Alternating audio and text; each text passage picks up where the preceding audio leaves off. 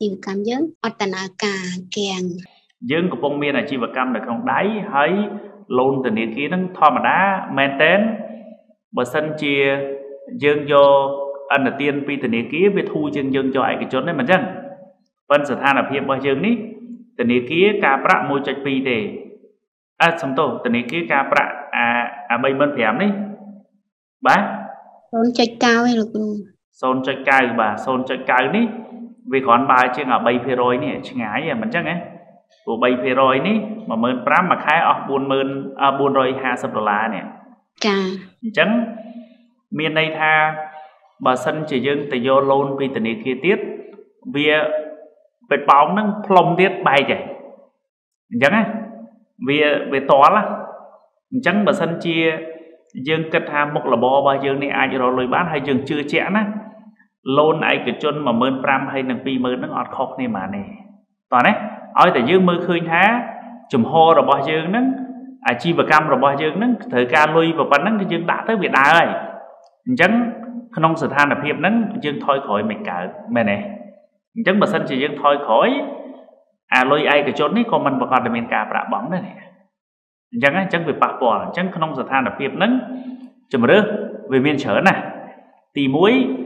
ចរចាធ្វើមិនចិត្តគាត់បានចូលទិញកន្លែងយើងច្រើនហើយគាត់ជឿជាក់ជាមួយយើងអញ្ចឹងយើងគិតអញ្ចឹងអតិថិជនដែលគេទិញណាបងលីណាចង់ឲ្យគេទិញច្រើនមែនទេបងអញ្ចឹងយើងគិតថាទាំងយើងទាំងគេនៅពេលដែលយើងទិញតែយើងទិញកត្តាអីដែលធ្វើយើងទិញច្រើនទី1គឺតម្រូវការទៅលើផលិតផលមែនទេលោកគ្រូត្រូវការធ្វើ condo 4 10 5 10ជាន់ អត់មានគ្រឿងសំណង់គ្រូធ្វើគៀមិនកើតមែនទេអញ្ចឹង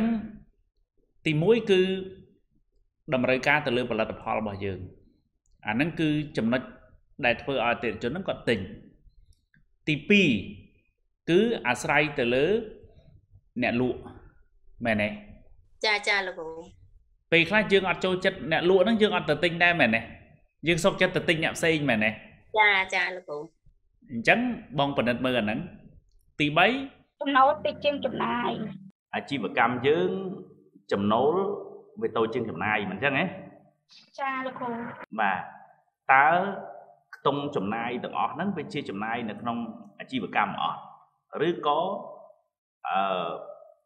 អាចំណាយផ្សេងផ្សេងផ្ទាល់ខ្លួនចំណាយផ្សេងផ្សេងនៅក្នុងក្រុមគ្រួសារហ្នឹងអាហ្នឹងក៏យើង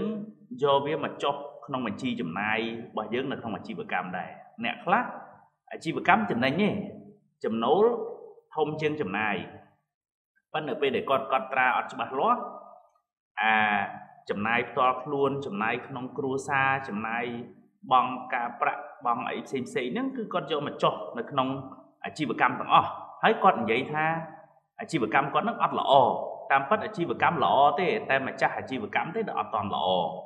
អត់តន់ល្អត្រង់ណាអត់តន់ល្អត្រង់ថាអត់សូវចេះចាត់ចែងអឺគ្រប់គ្រងសាច់ប្រាក់របស់ខ្លួនឯងអញ្ចឹងអានេះខ្ញុំចែកម្លែកចំណេះដឹងជាទូទៅទេអត់តន់ចូលដល់សាច់រឿងរបស់សុកឡាទេណា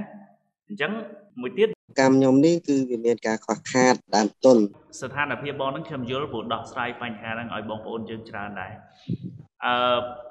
វាអត់មានរឿងអីចម្លែកទេឥឡូវយើងនិយាយដំណោះស្រាយដើមទុនតិច